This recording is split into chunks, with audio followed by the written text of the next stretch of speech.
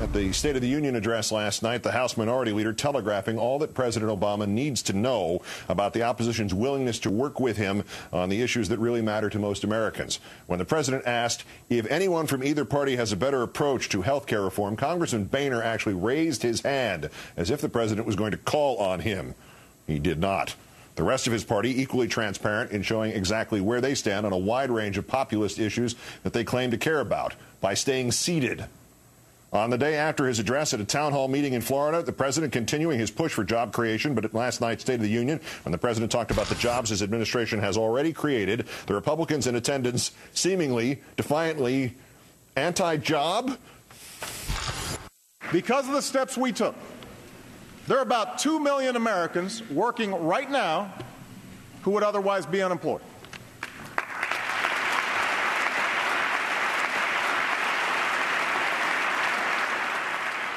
The GOP, it appears, preferring to give tax breaks to corporations which ship American jobs overseas.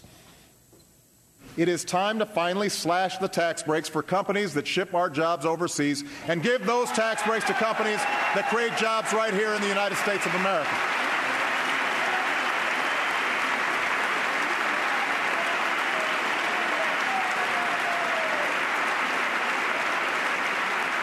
Oh, you know, I'm like that at a ball game. Sometimes I don't want to stand up for every pitch either. And the small businesses in this country that create jobs, not to mention the small business owners, most Republicans apparently against them too. I'm proposing that we take $30 billion of the money Wall Street banks have repaid and use it to help community banks give small businesses the credit they need to stay afloat.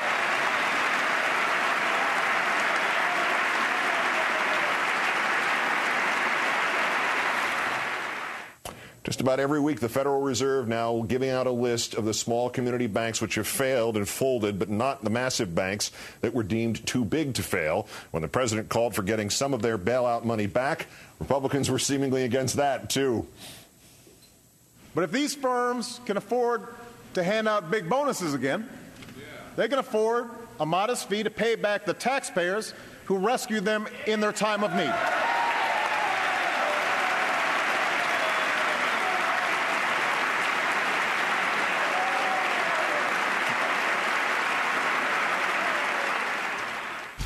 In the Republican response, meanwhile, Virginia Governor McDonnell and some people standing around him saying, We are blessed here in America with vast natural resources and we must use them all.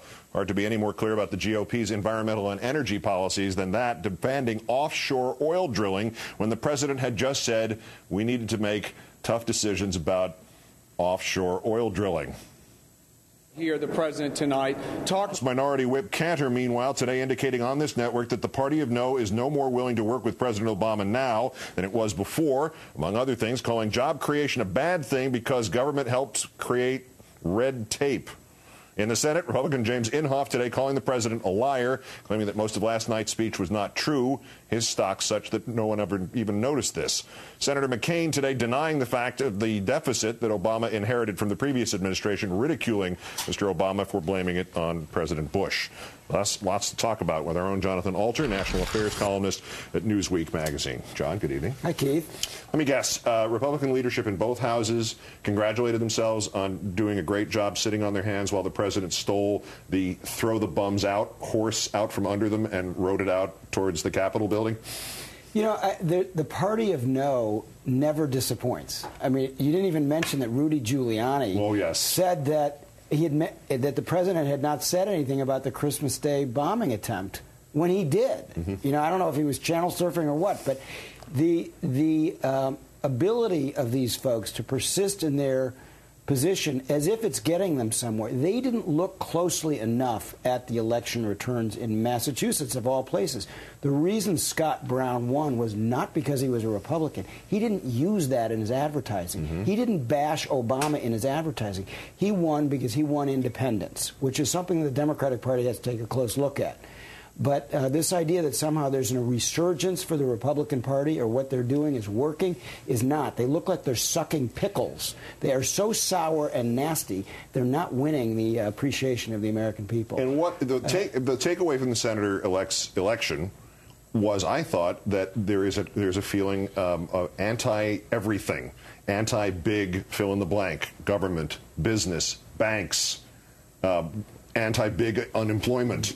And that is, in fact, what the president went after. And he may have gone after it using Republican terms, small c conservative terms, anything he could think of. But somebody got the bell rang in the White House. Yeah. Did it really not ring with the Republicans that they did not see that it wasn't just the letter R that made this happen, or that they, that it, they really think it's just going to be duplicated like a Xerox machine? Well, they smell blood, and Yeah. they will pick up some seats. Uh, but I think that they don't recognize that their party is in decline. You cannot sustain yourself uh, over any period of time as a political party without any sense of governing responsibility.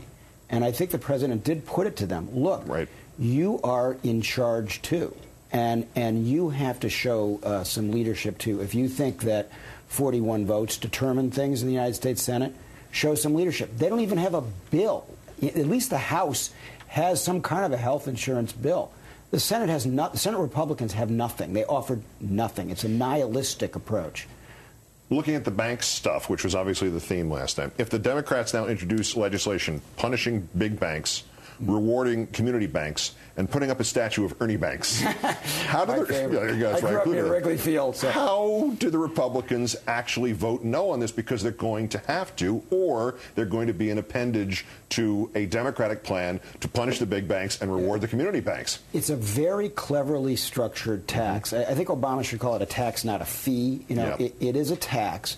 It's very hard for the Republicans to be against it. The only argument that they have, which Scott Brown used, is that uh, it won't work because the banks will just pass on these these uh, costs to the consumer. The problem with that argument, the cleverness, is that it only applies to banks with more than 50 billion in assets, which means if those banks try to pass on the cost to all of us, what happens? They lose massive market share.